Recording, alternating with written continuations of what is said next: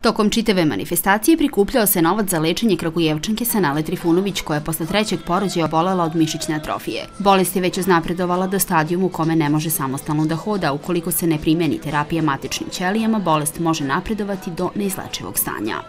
Rok je vrlo kratak, 5. maja ona na računu mora da ima 22.000 evra za prvu terapiju matičnim ćelijama. Ona je posle trećeg porođaja, to je gensko oboljenje, e, naglo naglo je dobila atrofiju mišića, već ne može samostalno da hoda i ukoliko mi nešto ne uradimo, bolest će da progredi, Kragujevac to ne sme da dozvoli. Za sanelino lečenje potrebno je obezbediti 22.000 evra do 5. maja za kada je zakazana prva terapija matičnim ćelijama u Turskoj klinici. Do sada je kroz fondaciju Budi Humani lokalne humanitarne akcije obezbeđeno oko 3.000 evra. U znak podrške događaji su prisustvali predstavnici grada i Šumadijskog upravnog okruga. Gradonačelnik Kragujevca Nikola Dašić je u razgovoru sa građanima predočio lokalni budžet i načine na koji Kragujevčani mogu aktivnije da se uključe u proces donošenja odluka.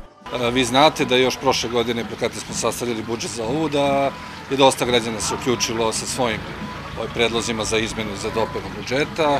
Mi nadalje planiramo, iako smo na taj način uvažili deo, želja građana, da i razvijemo neki web portal, hajde da kažem jedno elektronsko mesto gde će moći svi građani koji znaju način da realizuje se nešto, da predlože, da pokažu put, da učestvuju svojim predlozima u poboljšovanju rada gradske uprave. Predstavnici grada i institucija su mogli da u neposrednom razgovoru predstave planove svojih organizacija, ali i kažu kako građani mogu da doprinesu razvoju Kragujevca. Načelnica Šumadijskog upravnog okruga Biljana Ilić-Stošić poziva građane da se uključe u humanitarnu kampanju. Nažalost, u životu sve može da se nadoknadi osim vremena.